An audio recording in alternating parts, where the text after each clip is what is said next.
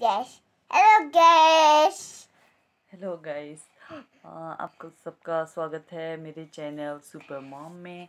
और आज मैं आप सबके सामने शेयर करने वाली हूँ कि आ, हम अपने बेबी को कौन सा पेम्पर्स यूज़ करते हैं। दिखाओ कौन सा पेम्पर्स हम यूज़ करते हैं। हम अपने बेबी को हमेशा ये पेम्पर्स यूज़ करते हैं। मैंने एक बार हगीज के लिए स्विच किया था बट अच्छा नहीं है।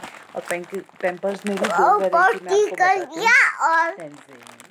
टेडी नामदाक आपका नेम क्या है टेंजिन मैं टेडी नामदाक ओके आपका नेम तेंजिन नाम रखे अच्छा और हम्म, आप गुड बेबी हो कि बैड बेबी हो? गुड बेबी हो?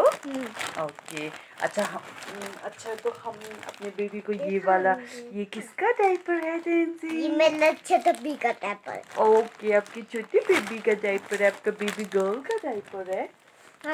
ओके गाइस तो मैं आपको बताने वाली हूँ कि मैं किस तरह के पैम्पर्स अपने बेबी को यूज़ करती हूँ। एक ये होते हैं जो ऑल ये अराउंड पैंट स्टाइल होते हैं। ये देखो ये डाइपर होंगे ये पैंट स्टाइल होते हैं। और दूसरे डाइपर मैं आपको दिखाती हूँ। ये देखिए। ये टेप स्टाइल डायपर होते हैं। हम्म, ये दोनों पैम्पर्स के ही मैंने लिए हैं। मैंने हगीज का लिया था waste of money totally waste of money ये मेरा ओरिजिनल और अ, कोई फेक रिव्यू नहीं है। ये मैं खुद जो आपका एक्सपीरियंस किया हुआ रिव्यू वो मैं शेयर करने कर रही हूँ आपके साथ। तो मोस्टली नाइट में मैं टेप स्टाइल ना? डायपर यूज़ करती हूँ। और मॉर्निंग डे टाइम में ये वाला। ये मैं आपको बता दूँ कि जब मेरी बेबी नाइट पे जाती है मैं आपको दिखा ये भी टाइम का? ये देखिए। तो इस टाइम वो सो रही है जब जैसे ही वो मुझे पता है कि मुझे उसे फ़ीड करवा के उसको जैसे ही वो अपने नाइट टाइमिंग पे चल जाती है सोने की टाइमिंग पे चल जाती है तो मैं एक डायपर उसको पहना देती हूँ दिन के टाइम पे। ये वाला हगीज पैंट स्टाइल डायपर ये Pampers sorry Pampers pant style diaper sorry guys मेरा बेबी बहुत हाँ ये मंगाना मुझे। खिलौना मंगाना और और और हाँ मैं हमेशा आपको पैम्पर्स ही प्रेफर करूँगी। ये बिल्कुल भी लीक नहीं होता है साइड से और जो हगीज़ का डायपर मैंने यूज़ किया था तो वो आ, लीक हो जाता था। तो बिल्कुल भी वो अच्छा नहीं था। मैंने वो सस्ते के चक्कर में ले लिया था बट वेस्ट ऑफ़ मनी जो मेरे मैंने थोड़े पैसे बचाने के चक्कर में वो लिया बट जो मैंने पैसे खर्चे वो पूरे वेस्ट हो गए। बचे तो नहीं, बल्कि जो लगाए थे, वो भी पूरे वेस्ट हो गए।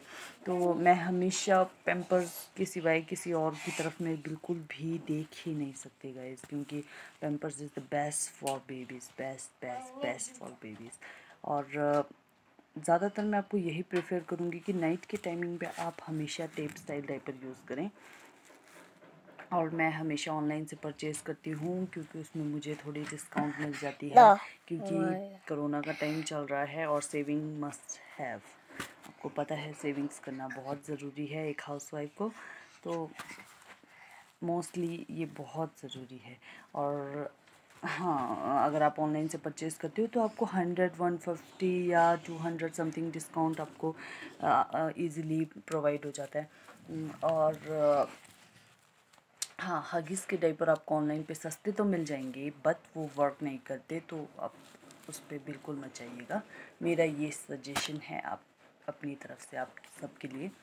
और हाँ हमेशा आप अपने बच्चे को डाइपरिंग मतलब डाइपर में ही आप अगर रख रहे हो तो वो भी सही नहीं है। दिन के टाइम में जब वो एक बार नीनी पे जा रही है तो उस टाइम पे आप उसको डाइपर लगाइए। मॉर्निंग के टाइम आप नाइट का डाइपर जैसे ही निकालते हो तो वो डाइपर आप निकाल के आपने कम से कम दो से तीन घंटे उसको नॉर्मली आपने सुसु और अ, ये करवाना है। सुसु और पीपी पॉटी जो भी आप करवाते हो उसको आपने खुद से करवाना है। उससे क्या होता है कि बच्चे की जो आदत है वो भी बनी रहती है। आदत भी बनी रहती है और उसकी आदत ख़राब नहीं होती।